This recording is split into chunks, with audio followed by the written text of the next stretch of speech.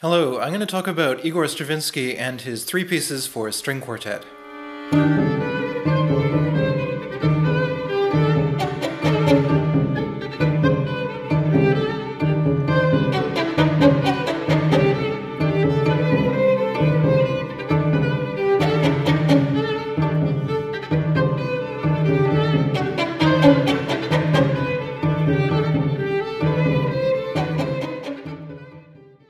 Quartet pieces were written in 1914 and they're a very fascinating work. And one of the reasons I find them so fascinating is that the, the, first piece of the set, which is the one I'm going to focus on, lasts for less than one minute in performance. And yet, despite its apparent surface simplicity, uh, it's actually one of the most sophisticated things that I think you can find in the entire Stravinsky canon.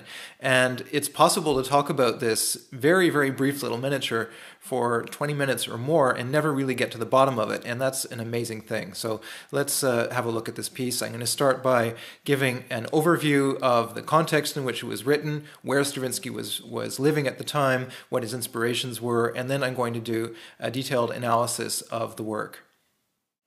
The string quartet pieces were written in 1914 in the small Swiss village of Leysin, which lies on the eastern shore of Lake Geneva, and this is during the very beginning of Stravinsky's Swiss years.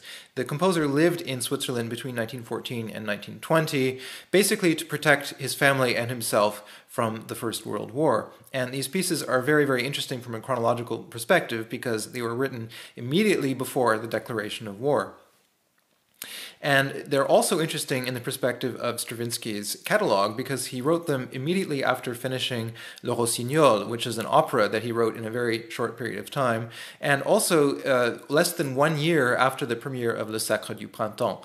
So this is right in the middle of Stravinsky's arguably most revolutionary period, and he writes this this miniature, this this very short little work after uh, these these major pieces on which he had been working basically without interruption for quite a number of years. Now, what's really interesting about these pieces is that they they contain all of the formal and technical qualities of Le Sacre du Printemps, but in a much much more condensed format. So the the advantage of that from an analytical perspective is that it allows you to see the the the the, the foundations of Stravinsky's compositional thinking uh, in a very, very reduced format. Another interesting thing about this piece is that it is one of the earlier examples of Stravinsky writing a work without having a commission for it, and then later on uh, finding performers to negotiate a commission with. So that's a kind of amazing thing that he that he managed to do because usually composers do the opposite. They find a commission and then they write the piece uh, based on the terms of the commission. But Stravinsky was very clever and he he managed to find ways and he, he did this on a regular basis uh, afterwards throughout the rest of his career.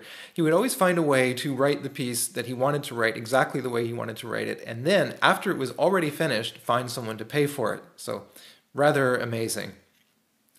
Uh, the other interesting thing about the chronology of this work is that it was written at exactly the same time as the Drei kleine Stücke of Anton Webern, Opus 11, which are three tiny little miniatures for cello and piano. And the Drei kleine Stücke are extremely revolutionary pieces. They're among the most extreme works that Webern ever composed. And it's just very interesting from a historical perspective that these two sets of three miniatures were both written at exactly the same time and that both feature the most radical aspects of their respective composers' styles. The first piece of Stravinsky's set uh, was written, in fact, uh, in response to a performance that he saw in Paris, and it was inspired by the performance of an English music hall comedian. So let's have a look at that. So the guy in this photograph here is Little Tich, whose real name was Harry Ralph. And Stravinsky attended a performance by Little Tich in Paris two weeks before writing the first piece of the three pieces for string quartet. And Little Tich was a comedian who had an amazing act that consisted of various uh, sort of acrobatic moves and dance moves that were performed with the use of these gigantic shoes that he wore. It was called the Big Boot Dance, and it was very well known, very popular, very famous at the time, and he was all the rage in Paris. So Stravinsky sees this, is very inspired by it, and immediately afterwards, as soon as he returns back to Switzerland, starts work on the first piece of the set. So we know from the sort of memoirs of Stravinsky's wife that he was inspired by this event, and that's what led to the composition of the first piece of the set.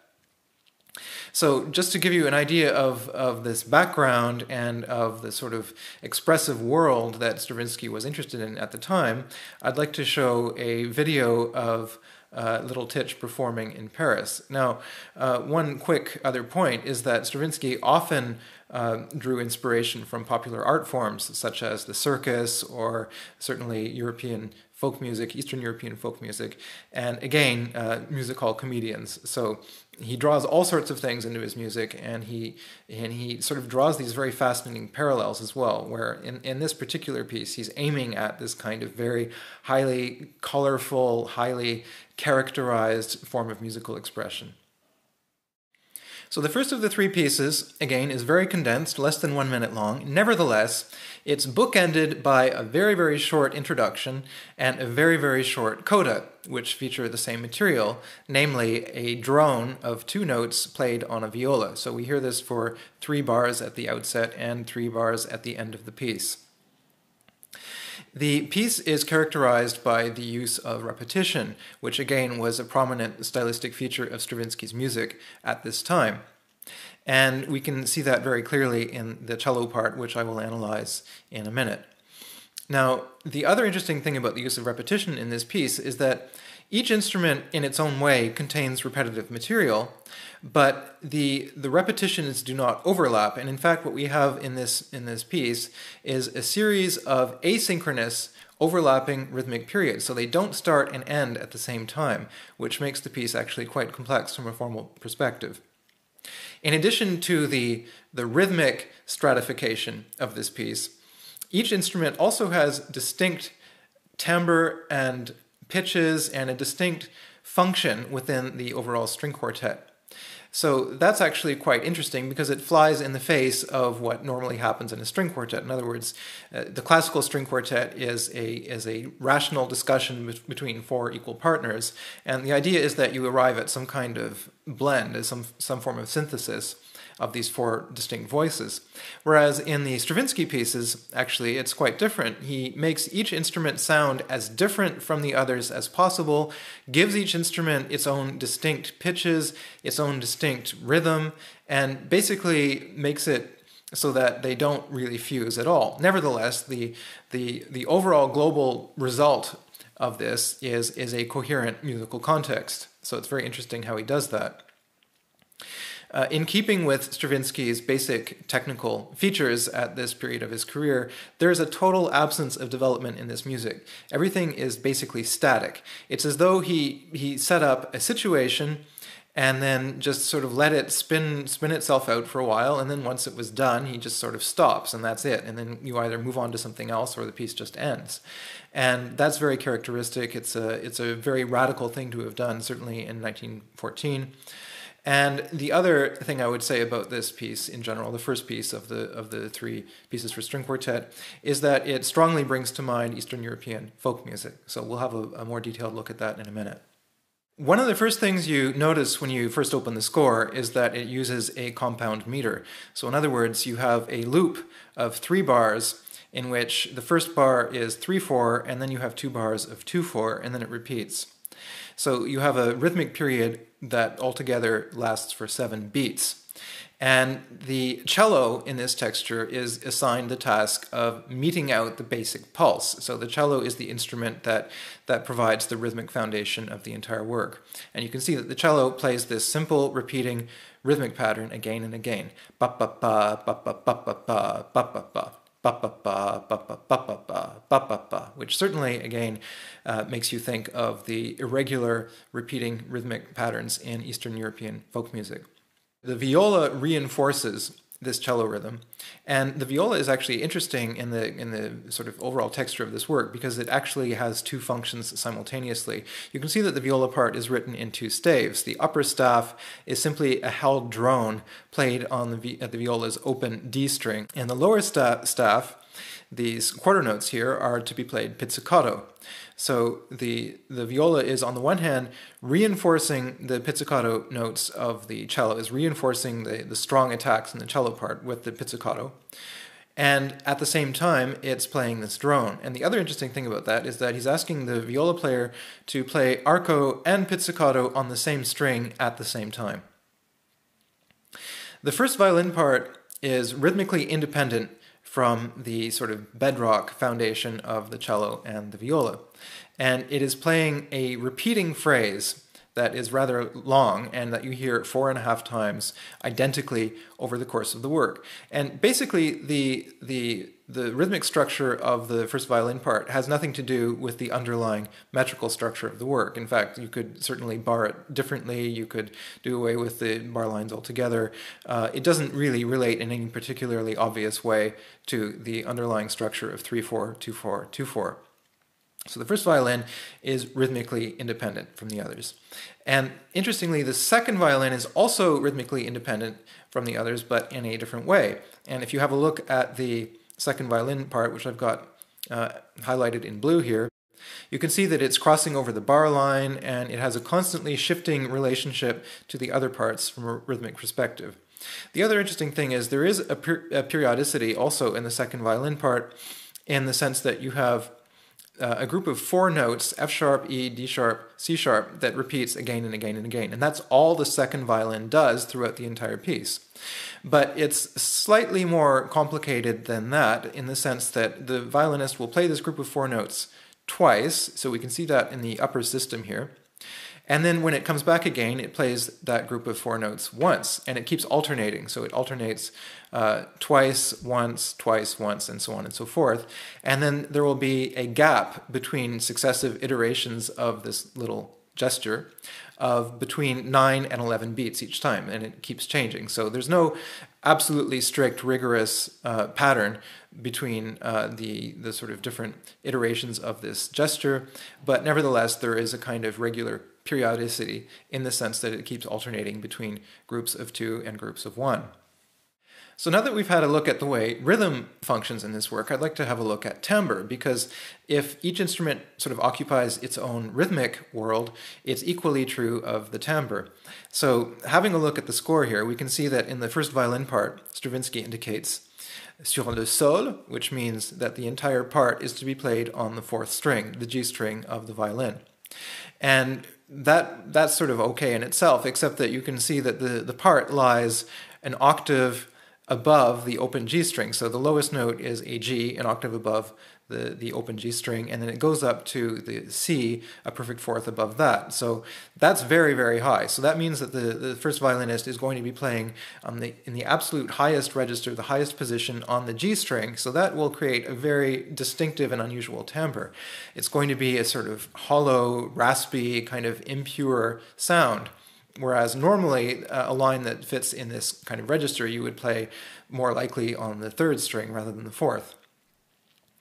So there's that. And then Stravinsky additionally indicates glisser avec toute la longueur de l'archet jusqu'à la fin. So in other words, play with a very rapid uh, bow movement throughout. So he wants the, the, the violinist to have this very, very quick, rapid bow movement so that you use the entire length of the bow the entire time. So that will also reinforce the sort of raspy, impure uh, tone quality of the violin. And I think the reason he's doing this is basically he doesn't want the violin to sound like a conventional violin. He wants it to sound like a sort of a sort of cheap uh, folk instrument. Now let's have a look at the second violin. The second violin is just playing this one gesture over and over again that we looked at earlier, uh, this, this four note group of F sharp, E, D sharp, C sharp. And he marks it sur le sol, uh, so similarly to the first violin, he's playing uh, on the G string, so high up on the G string. And he also marks du talon, so he wants the violinist to play this group of four notes at the frog. So you're going to get a very, very sharp, short attack. And he additionally writes excessivement sec, so excessively dry.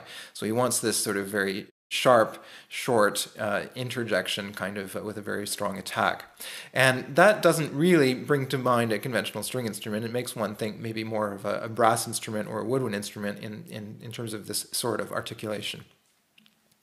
The violin, or sorry, the, the, viola, as we mentioned earlier, is playing this continuous drone on the open uh, D string on the viola's uh, second string, and at the same time is playing pizzicato. So the the, the viola here is is providing the role of the drone, and in order to uh, sort of uh, alter the timbre of the instrument, he marks sul ponticello until the end. So the, the viola is playing close to the bridge throughout the entire movement. And again, that I think is to create this sort of noisy, impure tone quality that he wants, something kind of harsh, something that brings to mind an instrument such as the hurdy-gurdy, for example. And the cello is playing pizzicato throughout the movement and with these very, very sharp, short attacks and, and a constant alternation between forte and piano dynamics. And the, the cello, because it is providing the sort of rhythmic foundations, the rhythmic backbone of the piece, has an almost percussive function within the ensemble altogether. So it's as though each of the, the four instruments of the string quartet were sort of role playing and, and assuming a different instrumental role. So you have the, vi- the first violin that is clearly a soloist and is clearly the melodic instrument you have the second violin that's doing these sort of regular jabbing inter- interjections. You have the viola that's playing a drone, and you have the cello that is playing a sort of regular percussive pattern. And it's actually not unlike what you might get in a jazz band or certainly a rock band. Let's have a look at how the pitch organization works in this piece. So to further compound the extreme individualization of each instrument in this string quartet, Stravinsky assigns a different group of pitches to each instrument and each instrument sort of stays on them throughout the entire course of the movement. So the first violin plays only four notes, the second violin plays four different notes. The viola plays its drone on the open D string, and the cello plays a group of three pitches over and over and over again. And what's also interesting about this is that each instrument suggests a very different tonal context. So the first violin plays this little four note fragment that could very well be a fragment of a G major scale. Now, we don't really have enough pitches and enough harmonic motion to uh, create a real uh, idea of a, a, a, pitch center or a, a, tonal context of any particular kind. But nevertheless, these four pitches certainly do fit within a G major scale. And the second violin is playing pitches that again are, are somewhat ambiguous, but certainly call to mind a C sharp minor scale. So it's as though we have this, this sort of tritone polarization between a C sharp and a G. And that is also, incidentally, a technique that you get quite a lot in Bartok. So we have these two sort of fragmentary diatonic scales in the violins, and then the viola and cello basically form a unit. And you can see that the, the, the C sharp that is only heard in the introduction in the viola part is the same pitch uh, in the same octave, but spelled differently as the D flat that we have in the cello part. So they're basically forming a single unit. And if you look at the four notes that, uh, when you add them up, are played collectively by the viola and the cello, you have C, D flat, D, and E flat, and that is nothing other than a fragment of the chromatic scale, a little four note chromatic segment. So we have this superposition of three different tonal worlds a suggestion of G major, a suggestion of C sharp minor, and a suggestion of total chromaticism. And all three are going on simultaneously. It's in the first violin part that we have perhaps the highest degree of sophistication in terms of the, the way this piece is structured. It's a very, very interesting group of three phrases that the violinist is playing and, and repeats um, identically four and a half times over the course of the movement. So this uh, group of three phrases, I've, I've, well, I've provided it here, and I've cut it up into phrases A, B, and C, and I've pre pre presented it also uh, without the bar lines, because again, this, this phrase is totally asymmetrical, and it doesn't really fit in with the rhythmic scheme that is provided by the cello in the work. So we have a first phrase that is 11 beats long, and that contains several different gestures within it that uh, recur in different ways throughout the three phrases. So again, we have a very, very limited pitch vocabulary here, so the same elements and the same rhythmic figures keep recurring throughout the, the three phrases. So we start off with an ascending four-note pattern, so la, si, do, which I've labeled X. And then we have the pattern la, si, do, si, la, sol, la, and that also returns. We'll have a look at that in a minute. And then finally, we end with la sol, la sol, which sounds sort of like a cadential gesture. It's a very sort of elementary, rudimentary cadential gesture, and it clearly signals the end of each phrase. In phrase B here, the second sort of sub-phrase of this group, we have uh, a phrase that lasts for six beats, and we find the exact same little fragment Y as, as we had seen in phrase A, but backwards. So the pitches and the rhythms are heard in backwards order. Now, it's, it's possible that this could actually be an accident, that Stravinsky hadn't really done this on purpose, because given the very restricted range of pitches available in this phrase, and also the fact that the same uh, rhythmic figures keep returning, it, it's not impossible that it could have been an accident, but I don't really think so. I mean, it's it's it's very the, the, whole phrase is is constructed in the most sophisticated manner, so it's it's quite ingenious the way this whole thing works. And then after we've heard this this backwards uh, iteration of y, so basically this is a this is a permutation of elements that we've already heard in the first phrase.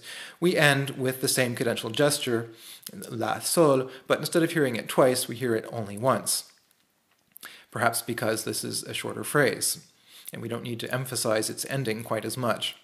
The third phrase, phrase C, is slightly longer than the preceding phrase. It's six and a half beats long, and we have that, that same sort of four-note um, ascending sol, la, si, do here at the, at the very outset, but in backwards order, so do, la, si, sol. And then we end again with the exact same cadential gesture at the end of the phrase.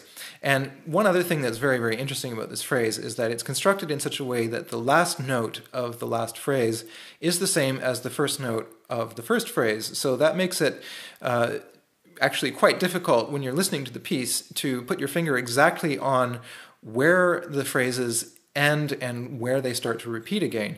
And because there's also a high degree of structural redundancy and self-similarity in these three phrases, you don't really know exactly what's what's going on. There's a there's a very strong sense of coherence. There's a very strong sense of hearing the same material again, but you never know exactly where it ends and, and exactly where it begins until you actually sit down and analyze it.